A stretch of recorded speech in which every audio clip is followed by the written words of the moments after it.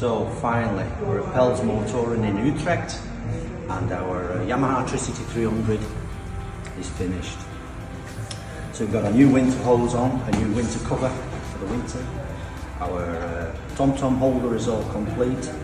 We've got uh, heated grips and we've got a new Yamaha uh, back box, top box. And uh, yeah, we're looking forward now to uh, riding it home.